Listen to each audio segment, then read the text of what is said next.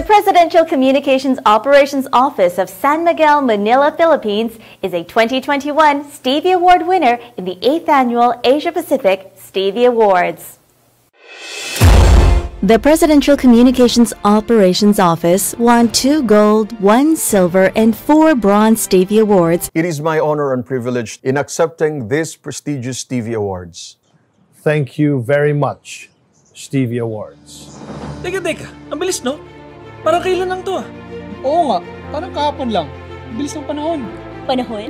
Gusto niyo ba mag-time travel? Why not? Balikan natin yung mga mahalagang yugto sa Office of the Global Media and Public Affairs. Tara, sabay-sabay tayo. Ito, po ang totoong kwento.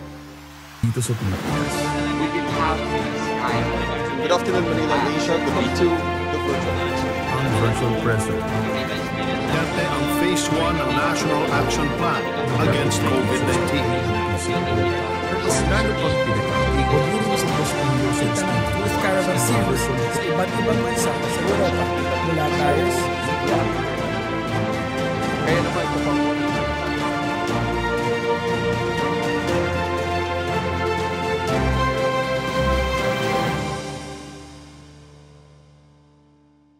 November 2018, nang magsimulang magbago ang ating kasaysayan.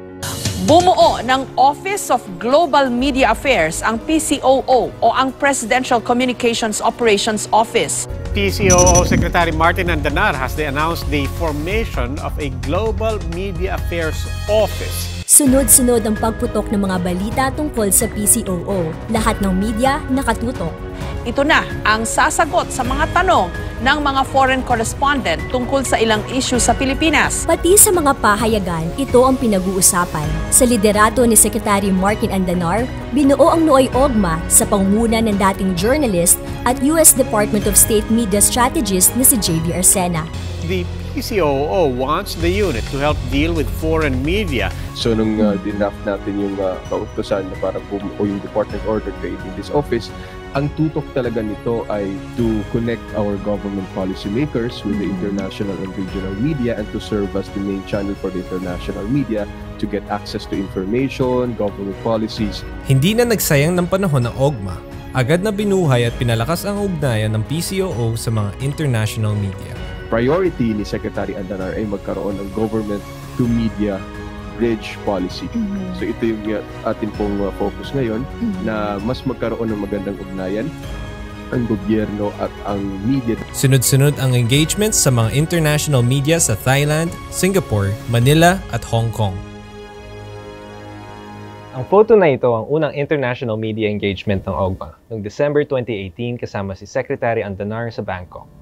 Tinulungan din ng OGMA ang mga international media para ma-interview ang mga high-level officials ng Philippine government. Kabilang dyan ang The Economist, Financial Times, RT, BBC at iba pang mga foreign media. Ito ay para ma-promote ang policy messages ng Duterte administration sa international audiences. Talking of relations between your country and Russia, has there been much pressure on your country? Isa sa hindi naming malilimutang engagement ay ang interview ni Secretary Andunar sa kilalang international network, ang RT. We live in very interesting times, Kevin. Uh, uh, we have a new world order, and every time there is change, there will always be resistance. Mula noon, tuwing may biyahe sa ibang bansa si President Duterte, gumagawa ang OGMA ng mga engagement at interviews para sa ating mga government officials. Naniniwala ang OGMPA sa papel ng media sa ating mga kampanya. Tulad sa ASEAN Summit, nag-organisa ang OGMPA ng mga press conference para sa mga miyembro ng gabinete. Nag-arrange din ito ng mga one-on-one interview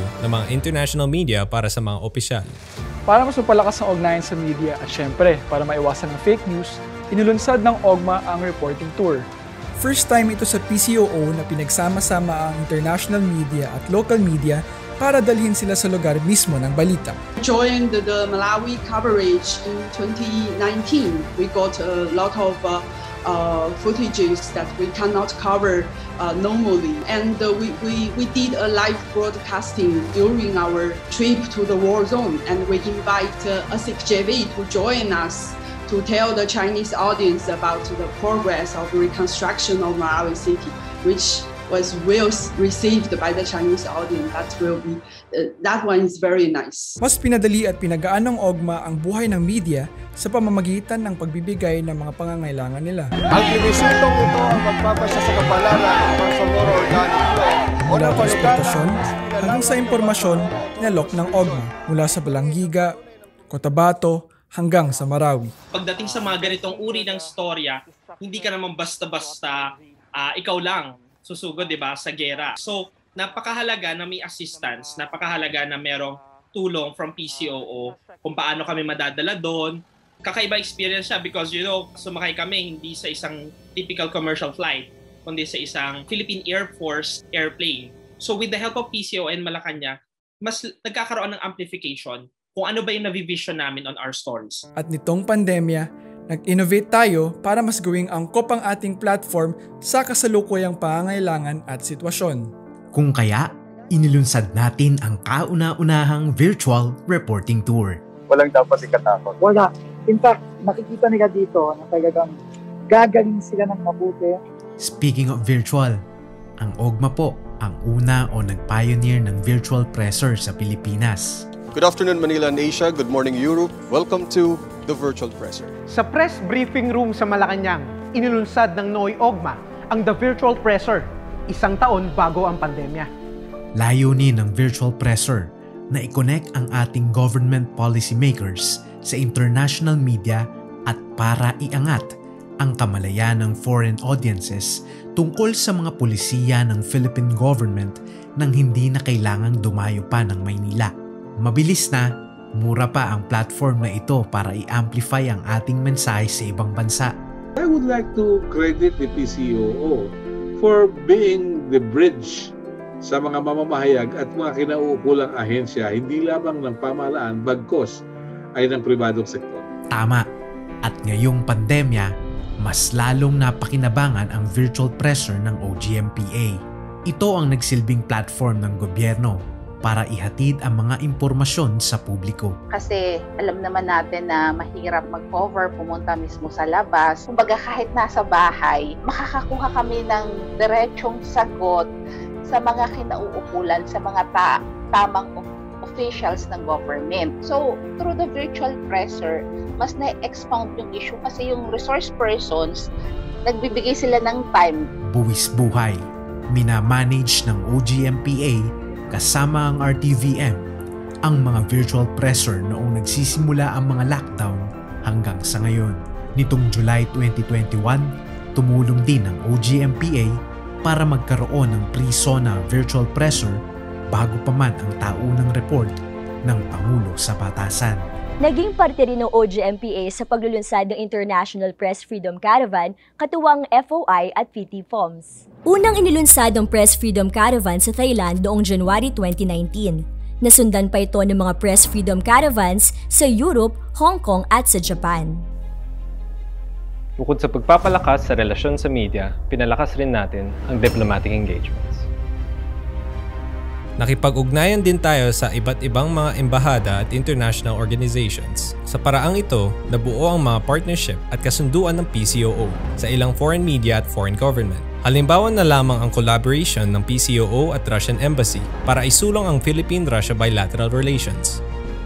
Mula noong OGMA pa lang tayo hanggang ngayon, isa tayo sa inaasahang magbibigay ng media at communication support para sa iba't ibang ahensya. Ang OGMPA ang sumisiguro na mabango ang ating ahensya.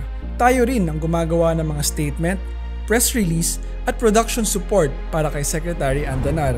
Noong February 2019, isa ang OGMA sa mga sumama sa NTF-ELCAC sa Europe para tumulong sa media engagements at pagbibigay ng communication support. Katuwang pa rin ng NTF-ELCAC, tumulong din ng OGMA sa speaking tour sa Amerika ng mga kapatid nating katutubo na biktima ng communist terrorist groups. Naging partner din natin sa paghahatid ng mga mensahe ng Pangulo ang Department of Foreign Affairs at ang Office of the Presidential Assistant on Foreign Affairs. Dito lamang mga nakaraang buwan, kasama ang OGMPA sa ilang repatriation at official visit sa Bahrain at Saudi Arabia. Dahil sa dekalidad nating serbisyo, sunod-sunod at iba't ibang ahensya pa ang nakipag-partner sa OGMPA, kabilang ang DNR, ang BARM, at ang NTF COVID-19. Tama ka AJ. malaki ang ginagampan ng papel ng OGMPA sa pagdi-disseminate at paghahatid ng mga mensahe ng administrasyon sa international community.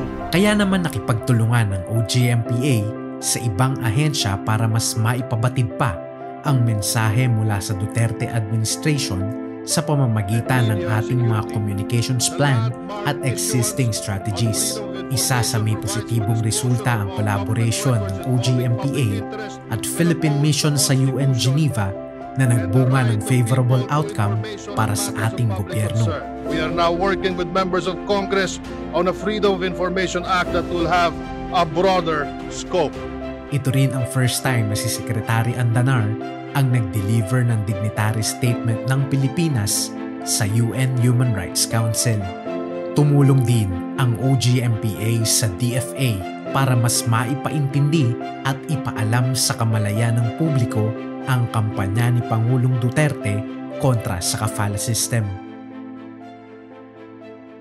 Alam nyo, bilang isang pioneer sa OGMA, marami rin tayong pinagdaanan. Oo nga, mula sa OGMA, naging public affairs tayo noong June 2019, di ba? True. Pero mabilis lang yan naging Office of the Global Media and Public Affairs simula nung may talagang Assistant Secretary si Javier Sena noong September 2019. Agree. Naalala ko pa ang Office Order Creating OGMPA at dito nagsimula ang paglaki ng ating pamilya. Bongga, di ba? Mahirap ang mga pinagdaanan natin, no? Lalo na si Asik JV. Alam mo, pagbuo ng OGMPA, pag-ayos ng sistema, ng organization, ng strategies, lahat ng yun from scratch. Alam niyo lahat ng yun sabay-sabay habang lumalawak ang ating trabaho at lumalaki ang ating team. Oo nga, hindi ko rin malilimutan yung mga panahon na nagsisiksikan tayo dun sa maliit na room at pantry dahil sobrang lumalaki na yung team natin. Kakaiba talaga ang pag-evolve ng OGMPA, no? From being a small unit to a big team that produces quality and multi-awarded results. Sa pagkakabuo ng bagong OGMPA, pinasok na rin ng PCOO ang paggawa ng mga documentary hanggang sa maging matatag na production arm tayo. Noong December 2019, inilabas natin ang unang full-length documentary ng PCOO, ang Gramo, tungkol sa anti-drug campaign ng gobyerno. Gumawa rin ng OGMPA ng anti-terror documentary, ang CTG.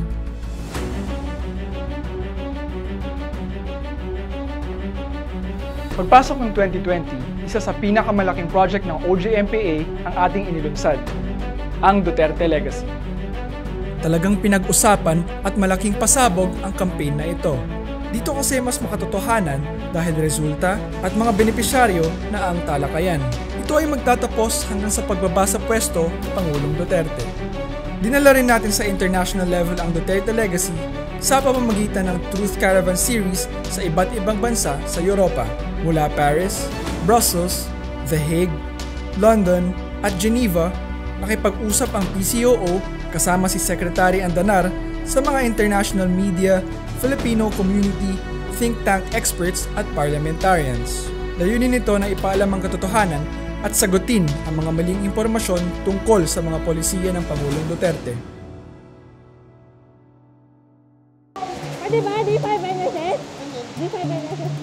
Ngunit nagbago ang takbo natin mula nagkapandemya.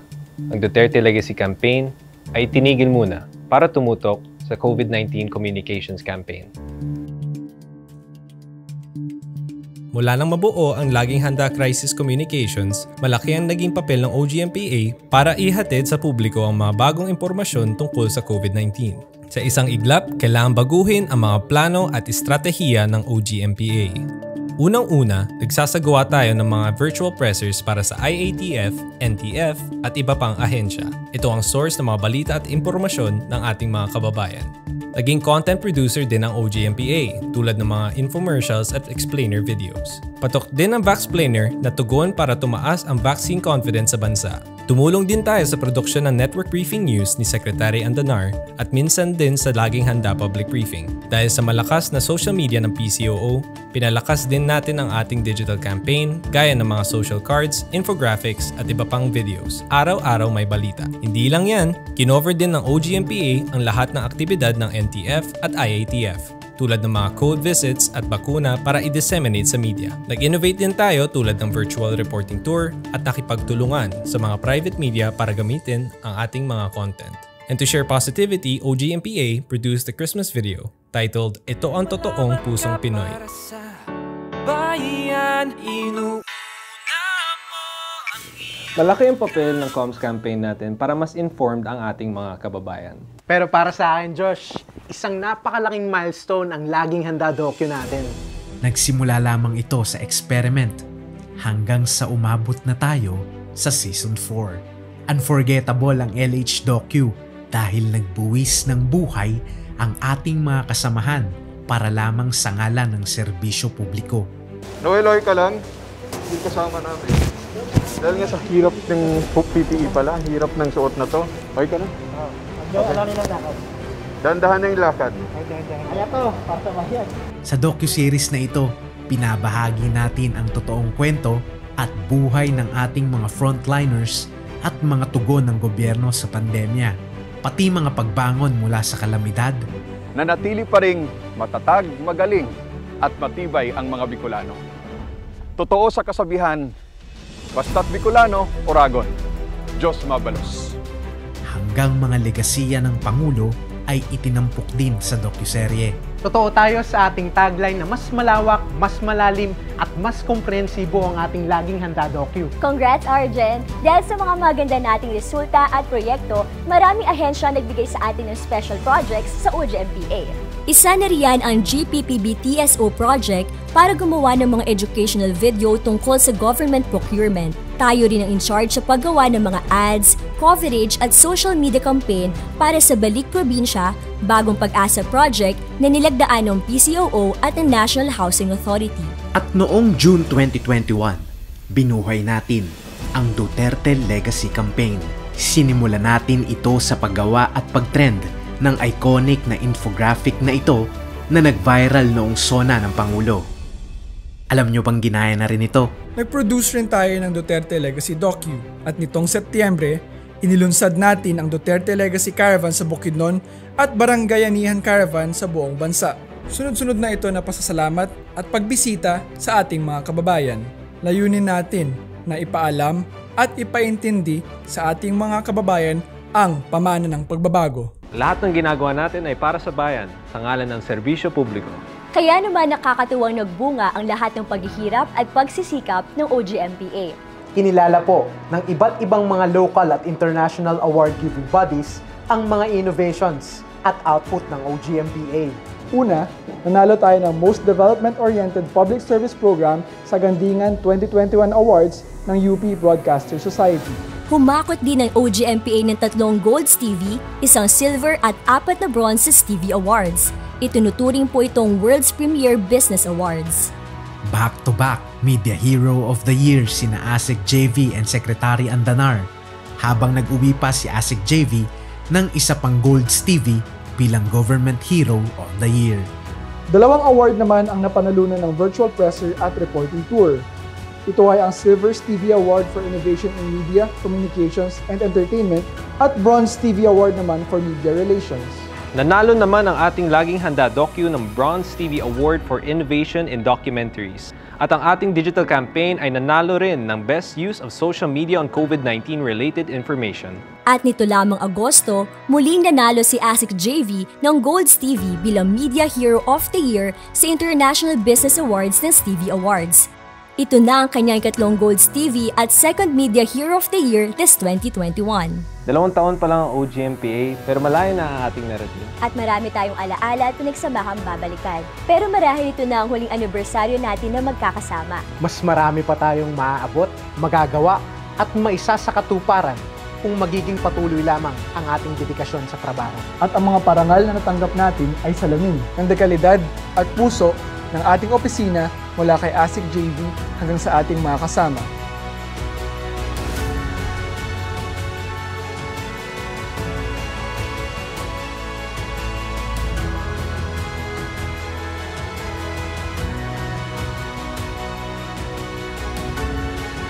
Saan man tayo magpunta, taas na nating ipagmalaki ang OGMPA.